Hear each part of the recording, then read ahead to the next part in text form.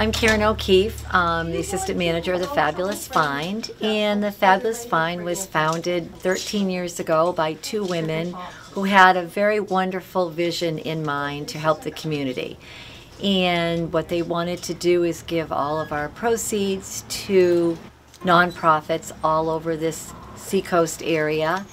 And they decided that it would be a very special type of spiritual place that helps everyone in the community and helps people that are working here. And thus it has progressed to quite the store now that's very well known. All of our donations are brought in by everybody. Um, they're very generous. They give us high-end um, items, high-end clothing, high-end or any kind of households.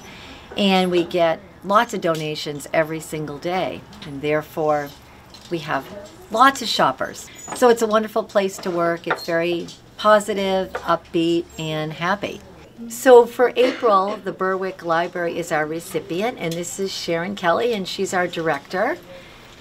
And we're very happy to have you all here today. And again, we'll work very hard to make sure that we are able to provide you with don- a lot of donations to help your organization. Well, on behalf of the Berwick Library Association and the Berwick Public Library, we just want to thank you, Karen, for the, the fabulous find choosing us as one of the recipients for April's donations.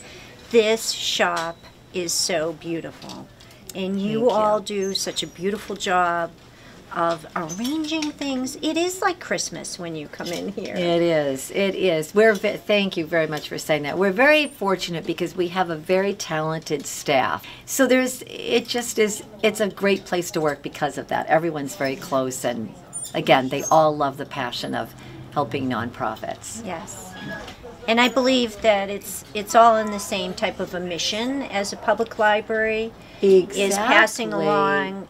Um, we pass along information and Yeah. and um, books and DVDs and movies and but we're also concerned about the environment just like you are Right, here keeping things out of the landfill reusing repurposing so I think it, with a mission like that, you can't go wrong. And That's we're right. so grateful to be part of it. Well, we're very, very happy, and it's very rewarding to be able to help you. So Thank you. We really, really love doing it for sure.